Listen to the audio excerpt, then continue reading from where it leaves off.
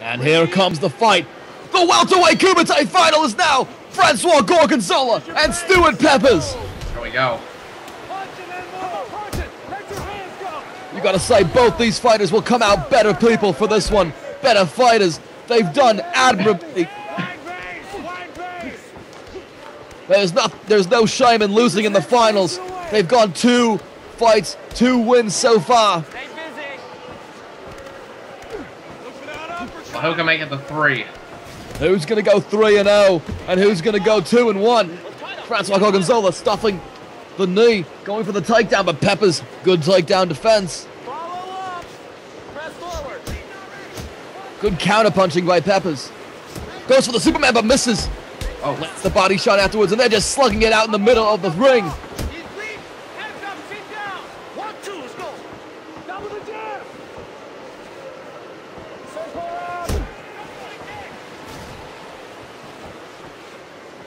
And Peppers in a circle. There's a lot more room in that ring than in the cage. Goes for the head kick. oh, both of them. All that, Gorgonzola that head kick. Goes for it again, but Gorgonzola meets him in the middle with the punch. Like Gorgonzola went for the head kick and Pepper. Oh, you want to say head kick, motherfucker?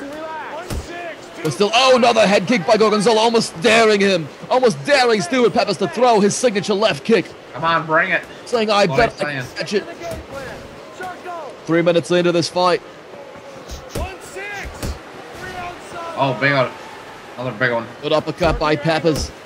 And Gorgonzola with a good combination, but Peppers with the counter punch again. He's counter punching. He's waiting for Gorgonzola to get into range, using his head movement. Very good head movement, but he still absorbs a lot of punches, Oh. including that right straight. Oh, God. Stay in there. He's getting a little too reliant on his head movement. And Gorgonzola looks just a little bit faster than Peppers. But you know that dangerous knockout power of Stuart Peppers. Has it all saved up inside of him, just letting to release it out of his ugly, ugly visage. And that could be a knockout spread all over the face and back of Francois Gorgonzola. Oh! For the knee there. Kind of a There- stick of him. But Gorgonzola has scouted it, he has blocked it. And you can just see, oh, big left hook! Peppers Oh. ducking into it, and drops him. And they go to the ground. Oh, Gorgonzola's looking to finish this, but Peppers, as He's dodging him.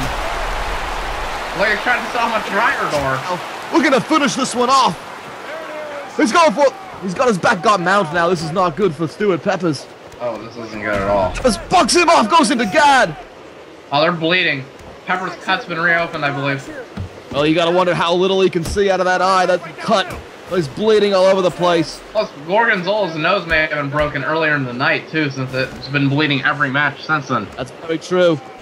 The, the damage that Kumite can cause to a fighter Kumite will fuck you up. makes you a bigger, a better person. It makes you a stronger person. Makes you less of a pussy.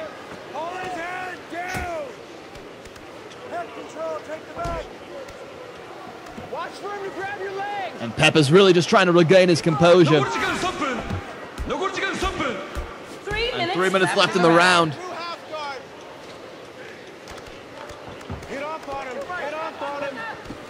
And Gorgonzola, oh, he knocks him out! Nice! Jesus, Mary, Joseph, Holy Mary, Mother of Fuck! Jeez, oh, ah, wow! Gorgonzola! Nice! Do it, Peppers! In the face! That's actually Pepper's brain. Turns him over! Me! And thank you, my good Mrs. Swanson! I will have another helping of cornbread pudding! Oh, fucking Mrs. What? Never mind. Fucking he's dead. He's dead. And he gets into the north-south position, throws the knee, and the arms, the arms drop of Stuart Peppers. His body jolts and he goes limp. Oh my god. And Stuart Peppers is sitting up. He's, you know, he, Oh, he put in a valiant oh, effort. Oh, he's- holy shit, this is always bad.